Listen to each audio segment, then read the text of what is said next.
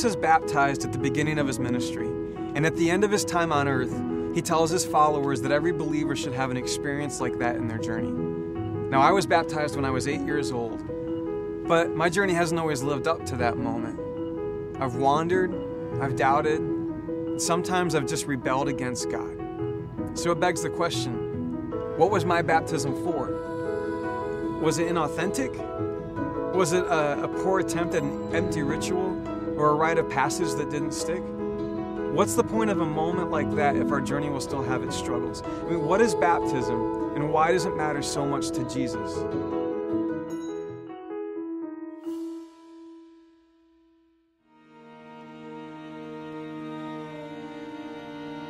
It turns out, as is often the case with Jesus, that there's actually a story behind the story. And the story behind the story in Jesus' baptism is the Exodus. When the Hebrew people were in Egypt, they weren't really a people at all. They were just a bunch of poor, extended family living in somebody else's country where they were property. Every day they went to work and they were reminded that they had no identity, no rights, no freedom by the lashes that hit their backs when they couldn't make enough bricks to keep up with the thriving economy of Egypt. Can you imagine the feeling of the lashes on your back when you couldn't keep up with the demands of your taskmasters? I mean, how about you? Have you ever come home from a day of work and felt like your identity was nothing more than a cog in a machine? Maybe you feel like even the people who are closest to you in life would rather use you than know you. What happens to our identity when the loudest voices are the ones that beat us down?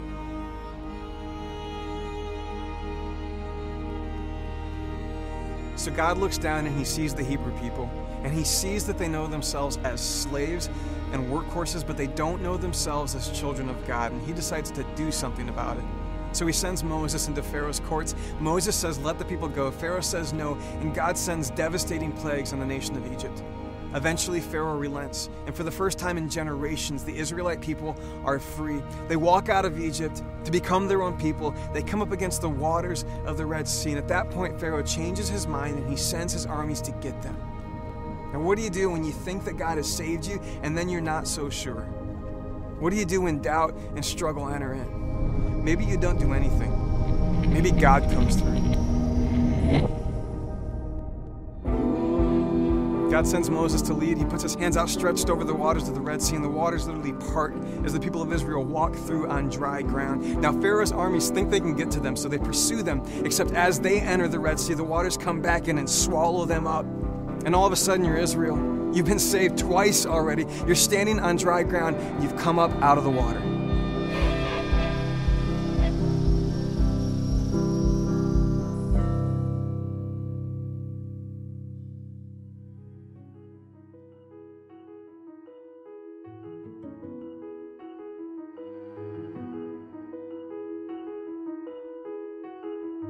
You keep reading though, and after God brings Israel out of the water, you sort of wonder if he bet on the wrong horse. Because they still have struggles on their journey, they still have problems along the way. In fact, there were moments when you flat out wonder if they lost their identity again after their Red Sea moment. It's like they keep listening to these voices that whisper to them or shout to them and say, You're not who you think you are. But maybe that's the point. God didn't bring them through the water because they would be perfect. He brought them through the water because he knew that they would wander and that they would need an anchor in their story, a tether to their identity when lies get shouted at them about who they are and their future. Now, baptism for Jesus doesn't just look back to the Exodus, it looks forward too. Because our deliverance didn't happen at the Red Sea with Moses' arms extended. It happened at the cross with Jesus' arms outstretched. We weren't rescued from Pharaoh's army, and we've been saved from the slavery of sin. It's not the waters that cleanse us, but they symbolize a life that has gone to the cross with Jesus and come up from the grave with a new identity of freedom in Him. As we're going to have moments when we're tempted to believe that we're the old us instead of the new us. You're going to have voices screaming at you that say that you're not holy, you don't belong to Him, you aren't loved. But you and I are given a moment to step into the waters, to feel grace wash over us from head to toe. Jesus says, Be baptized in the name of the Father, the Son, and the Holy Spirit. Your sins may seem to pursue you, but they've been drowned in the blood of Christ shed at the cross. We've been renamed, reclaimed by Jesus. We've been adopted as sons and daughters. We are children of God. Engage in a defiant act of protest against the voices of shame that chase you and tell the world that you belong to Him.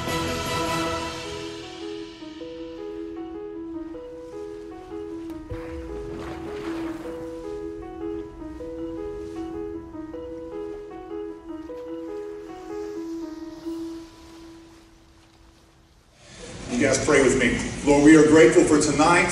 We are so grateful for this time right now where we get to honor you with the symbolic act of baptism, the symbolism of life change. Lord, I pray just a prayer of thanksgiving in this Thanksgiving week. Lord, as we get this week started, Lord, what a beautiful way to begin the week. I pray, Lord, that tonight this would be an aroma pleasing to you, a sacrifice of time a sacrifice of life. And as we lay down our lives, Lord, we know, Lord, we find it in you. We find true life. In you. And so, Lord, I pray tonight, as we honor you through this time of baptism, Lord, we ask that this be pleasing to you. We love you. In Jesus' name, amen. In Matthew chapter 3, verses 13 through 37, I'm going to read. It says, Then Jesus came from Galilee to the Jordan to John to be baptized by him. John would have prevented him, saying, I need to be baptized by you, and do you come to me? But Jesus answered him, Let it be so now, for thus it is fitting for us to fulfill all righteousness. Then he consented. And when Jesus was baptized, immediately he went up from the water, and behold, the heavens were opened to him. And he saw the Spirit of God descending like a dove and coming to rest on him. And behold, a voice from heaven said, best phrase in the whole thing, This is my beloved Son, with whom I am well pleased. And tonight, guys, we've got some beloved, or we have a beloved son and a beloved daughter in which God is truly well pleased tonight. So you guys come on up this way. As they're making their way this way, I want to make sure that we're perfectly clear on what we're doing tonight. This time, right now, in this water, there is nothing magical about this water. This water here is simply water. But what's magical and what's amazing and what is remarkable is what's happened in these young people's lives before tonight. And so tonight, as we baptize them, we want to do everything we can to follow the example of Jesus. And so when we follow the example of Jesus, as he was baptized, we're going to follow him in that. And we want to make sure that we understand that just as Jesus died on a cross, was buried, really dead,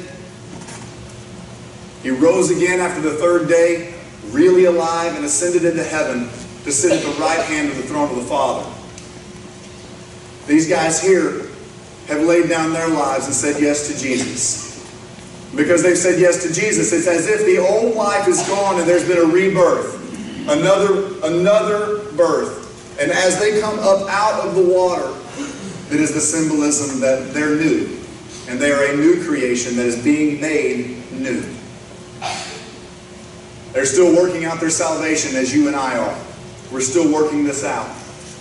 But they're here tonight to tell you publicly they love Jesus.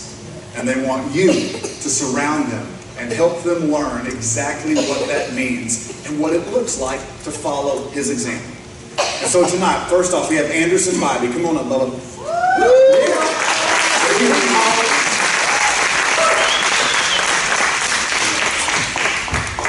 It's a little cool tonight.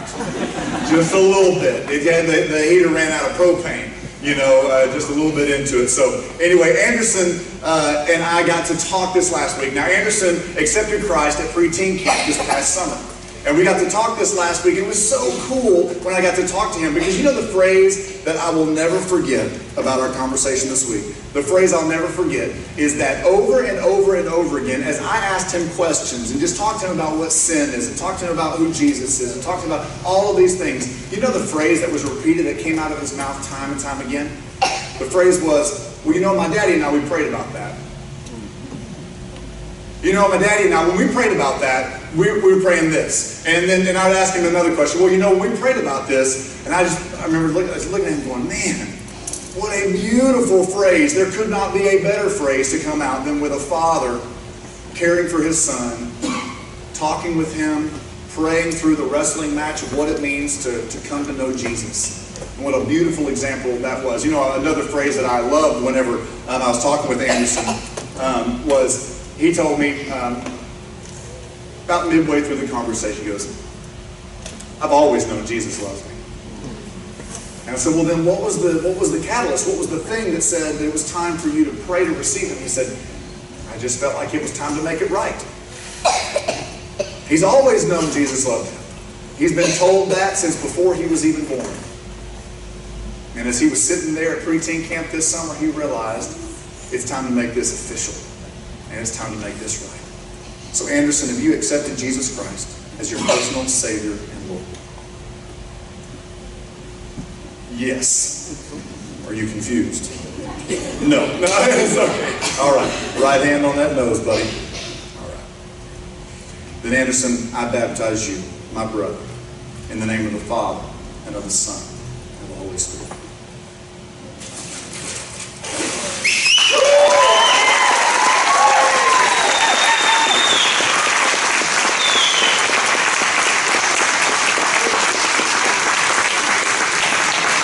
The one thing is for sure, when the water is cold, they will never forget. They will never forget that this took place, right?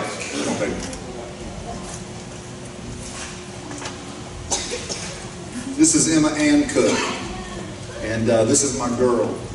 Uh, this is my my uh, my youngest of the three biological that we have. And um, you know, a few months ago, actually several months ago, Emma came in and talked with us, and she said that she felt like she was ready to be baptized. And we talked through what that meant. We talked through that. And she, she decided she was going to pray and receive Christ. And then we started talking with her about this is going to be something that is to be made public. And it, it kind of freaked her out. And she wasn't sure about that. And so we decided that we were going to hold off for a little bit. And I got to tell you, um, fear crept into me at a level I was not quite sure what to do with. And the reason for that is, is because she did not speak a word about Jesus for two months. She didn't say anything. Not at all. Didn't pray a lot at the dinner table. She didn't do those things. And the fear came over me, came over me that one of my mentors always told me, he said, you never ever turn a child away from baptism.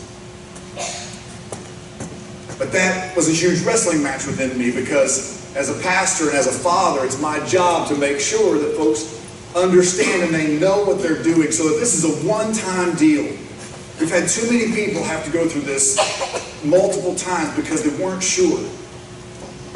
And for two months, I was praying and I was asking God in their room at night. I'm asking, crying out to the Lord in front of them, and and uh, and, and, and Rachel and I together, and we're just asking God to save our children. And I'm so grateful that on September the 22nd this year, I remember that because it's my bride's birthday. I walk into the kitchen and Emma and Rachel are having a conversation. I could tell it was serious. And I was so grateful whenever Rachel looked at me, and I, you know the look.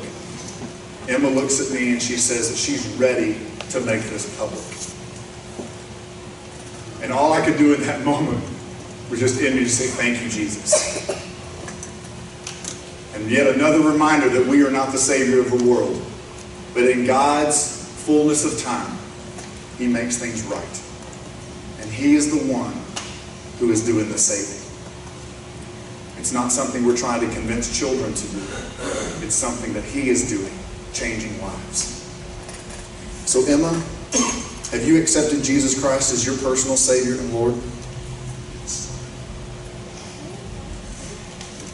Then I baptize you, my sister, in the name of the Father, and of the Son, and of the Holy Spirit.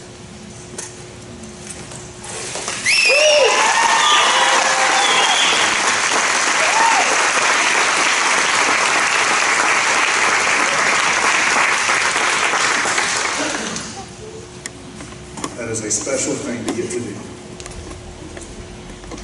For you guys tonight, we get the privilege of partaking of both ordinances tonight baptism and Lord's Supper. This last week, I was talking with Rachel, and, um, and she had been invited to be a part of this group. This group is called the Pink Ribbon Cowgirls. And, uh, and you know, it's just silly. It's, it's funny. It's a bunch of ladies in Austin um, that have struggled with cancer at some point, uh, maybe currently struggling with that. But she got invited to be a part of this group. And, and the person that invited her was this girl that, as Rachel was in the, the doctor's office and she was receiving some medication, uh, she was talking with this other girl who's younger than her, which is an anomaly in, you know, the oncologist's office for folks to be younger than us. And so as she's there talking with this girl, the girl was telling her just how important this group was and just how meaningful this group had been to her and just how, how much information, how much how wonderful it was to be a part of this group. She had moved from out of state. She was here. She didn't know anybody. There wasn't any family around. And she had this group that she could go to for support. I could tell as Rachel was telling me this story, she was wrestling through the question, why am I not drawn to this group myself? And as we were talking through this, one of the things that came to my mind is well, everyone on the face of the planet is longing for community. Everyone longs to be a part. You know, it's the Cheers theme song, right? We want to go where everybody knows your name. They're always glad that you came. Doesn't that sound like church? Right? Or a bar? you know? I mean, it's something, right? Everyone wants to be a part of community. They want to be known. They want to know that they're known. They want to know people are happy to see them, that they belong. And I'm so grateful that my bride, as we were talking through, was sitting there kind of going, what is the struggle here? And the struggle is, why is she not drawn to this group? Well, the reason is, is she already belongs. She is already known. She already has a support group known as the body of Christ. She already has this strong group of people who are there at the drop of a hat. She already has what everyone wants, and that is to be a part of something much larger than us as individuals. And I'm so grateful to get to have that conversation with her. Because as we sit here tonight and we talk about the Lord's Supper, we get the privilege of partaking of the Lord's Supper, this is one of the foundational pieces of our community. It's one of the foundational pieces that each of us need to understand why we belong.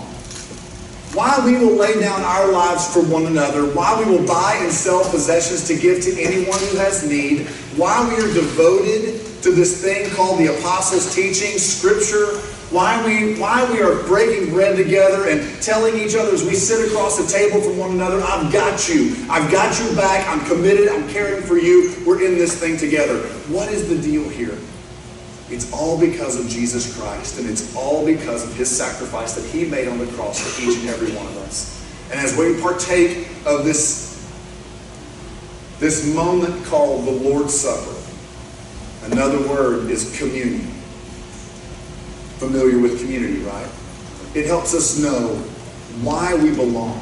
It helps us know why we are cared for the way we are. It helps us understand that we are a part of something that is so much bigger than us. That there's a Savior of the world who died, was buried, and rose again for each and every one of us in this room. And it's so good to belong. I want to read 1 Corinthians chapter 11, starting in 23. It says these words For I received from the Lord what I also delivered to you. Paul says that the Lord Jesus, on the night when he was betrayed, he took bread. And when he had given thanks, he broke it. And he said, This is my body, which is for you. Do this in remembrance of me. And in the same way, he took the cup after supper, saying, This cup is the new covenant in my blood. Do this as often as you drink it in remembrance of me. And now Paul goes on a couple of verses later to help us understand that as we come to the table tonight and we dine, it's important that we examine ourselves. He, in verse 28, he says, Let a person examine himself then, and so eat of the bread and drink of the cup. And so, two things to examine ourselves. Number one, do you belong? Do you belong to the community that is known as the family of God? It's important that we understand that and that we ask ourselves that question. Have we prayed and have we received the gift known as Jesus Christ? And we prayed and we received what is known as salvation, which means it saves us from ourselves so that this life that we've been living on our own selfish motivation, trying to pursue this goal, we understand that that goal is found in Jesus Christ and the life that is found in Christ is the true life and is truly the way in order to know God the Father, to spend eternity in paradise. Are we a part of this community of God. And then the second examination is this. If you're a part of this community and you've said yes to Jesus, it's important that you examine whether you have something between you and someone else in this community. Scripture is very clear that it says if we if we come to the table and we dine with the wrong motives, then we are we are eating and drinking judgment upon ourselves. And it's important that we know that our conscience is clear and that the forgiveness is there. And so we're going to sing a song here in just a little bit. And this is a beautiful time for you to examine your life, to examine, am I part of this community of God? Have I said yes to Jesus? And then, if I've said yes to Jesus, is there anything between me and someone else in here? Do I have anything against someone else? And do I need to go and make that right? And so, over the course of this next song, I want to invite you to do that, to prepare your heart, and to say, God, I love you. I'm so grateful for you. And to say, Lord, I pray that you help mend the relationship, perhaps, that there might be a problem with that. And then after that, we're gonna we're gonna invite you to the table. One of our elders, Ryan, is going to come up and he's going to invite you to the table. And everyone is welcome at the table. Everyone is welcome. We want to invite everyone. And if you, as you were doing your examination, you have come to the conclusion that you understand that you are a part of the family of God. You said yes to Jesus and you're a Christ follower. Then as you approach the table, we want to ask you to just have your hands out like this. And if you've not yet said yes to Jesus, and you're still pursuing and still working out that salvation, trying to figure it, all of this out, we want you to be at the table because God longs for everyone. And so if you'll just walk up and put your hands across your chest here, then our elders will pray a prayer of blessing over you. And they're going to say words that are like this. They say, the Lord bless you and keep you. And may his face shine upon you and give you peace. And that's going to be it. What we would ask is that if you would just take your time coming up, allow the people that are at the table before you to finish, and then you come up as a family, come up as a group of friends, come up as a couple, whatever it is. We're just asking not to come up by yourself. Bring somebody with you.